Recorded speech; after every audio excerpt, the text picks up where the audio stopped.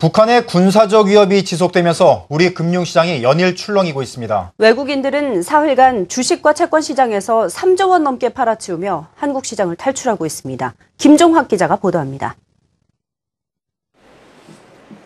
한국 금융시장을 둘러싼 대외 악재가 연이어 터지며 주식과 채권, 환율이 이틀째 약세입니다. 북한 김정은 체제 출범 이후 남북 간 긴장이 고조되고 일본은행이 지난 4일 위험자산 매입을 포함한 새로운 양적 완화 정책을 내놓으면서 우리 금융시장에 대한 투자 심리가 급격히 위축되고 있는 것입니다. 코스피 지수는 낙폭을 키우며 장중 1920선까지 밀리는 등 이틀째 크게 내렸습니다. 특히 외국인은 사흘간 1조 원 넘게 주식을 내다 팔고 있고 선물 시장에서도 순매도를 이어가며 지수 하락을 주도하고 있습니다. 주식시장뿐만 아니라 안전자산으로 여겨져 온 채권 시장도 외국인들이 줄지어 이탈하고 있습니다. 지난 이틀간 1조 원 이상 순매도를 기록했는데 이는 과거 연평도 포격 등 위기 상황에서도 나타나지 않던 이례적 현상입니다.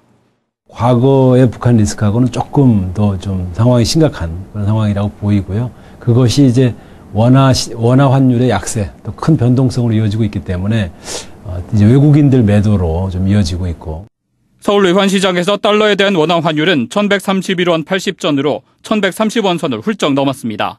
지난 4일에 이어 이틀째 큰 폭으로 상승하며 주요 투자 주체인 외국인 수급 악화를 부채질하고 있습니다. 이번 북한 리스크는 중국의 역할 부재와 북한의 모호한 정치적 입장으로 인해 단기간 내 해소되기 어려울 전망입니다.